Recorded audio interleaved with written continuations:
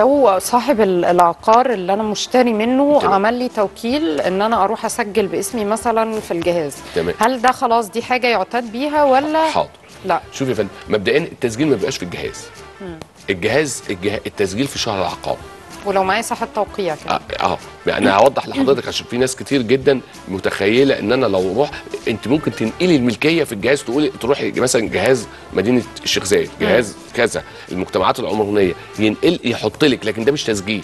أوكي. ده بيبقى لما تيجي تسألي على الشقة دي بتاعت مين أو الفيلا دي أو الأرض دي آه دي بتاعت الأستاذة نورة أو الأستاذ أحمد دي. لكن ده ما تسجلش.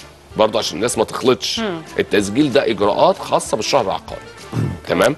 فإحنا النهارده حضرتك ال- الشخص النهارده اللي- اللي بتسألي عليه لو راح الجهاز ونقل الملكية أوكي ينقل الملكية. ده كويس ده إجراء حلو جدا مفيد جدا لأن هو أصبح قدام الدولة وقدام الناس هو المالك. تمام. تمام؟ إلى أن يتم التسجيل. اتنين يعمل لك توكيل؟ آه يعمل لك توكيل. أهم حاجة زي ما قلنا إنك لما تيجي تشتري ودفعت فلوسك وخلصتي تستلمي وتعملي توكيل بالبيع للنفس وأنا ما بحبش الغير. للغير، آه. آه ما بحبهاش. لكن لو أنتوا اتفقتوا على كده أنت حرة. بيبقى نعمل توكيل بالبيع للنفس للشقة واكتب عنوانها والتعامل مع الجهاز والتعامل مع الشهر العقاري والتعامل مع المساحة والتعامل مع جميع الجهات الحكومية والتنازل عن عدادات الكهرباء والمياه. عشان يبقى الت... يبقى انت ما تحتاجيش الشخص ده تاني خالص. ويبقى التوكيل ساري بعد الوفاة وكلمة ما دام في كلمة بالنفس حتى لو ما اتكتبتش عشان في ناس بتتخض تقول لك إيه لا يجوز الغاء التوكيل إلا بوجود الطرفين. أنا التوكيل بتاعي ما فيهوش الكلمة دي. الناس تقلق. ما دام يا فندم اسمك مكتوب فيه بالتوكيل للنفس ما دام كلمة للنفس موجودة الشرع العقاري مش هيعرف يلغيه إلا لما تجيبي له الشخص التاني معاك. فما ما حدش يتخض.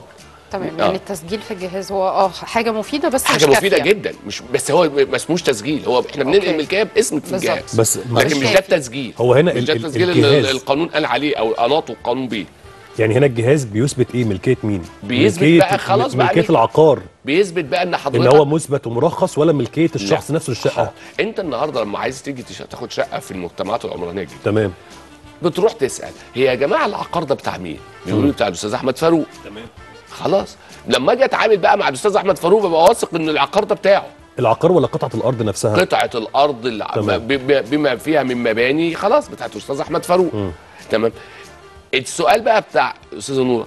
لو رحت أنا نقلت الملكية دي هيبقى لما حد حضرتك تيجي تبيع شقتك ويجوا وأنا أنقل ال ال اسمك أنت في الجهاز تمام. هيجي الناس تسأل هو مين؟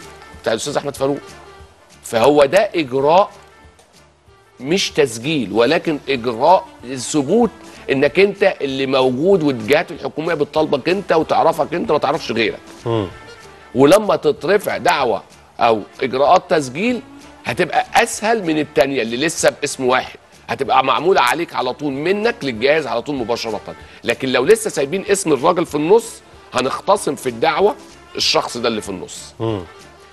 طب أستاذ أحمد هنا برضو في مشكلة صعبة. ولا لا لا أنا فاهم تمام شوية؟ لا مش لفة أنا لا آه. وصلت لي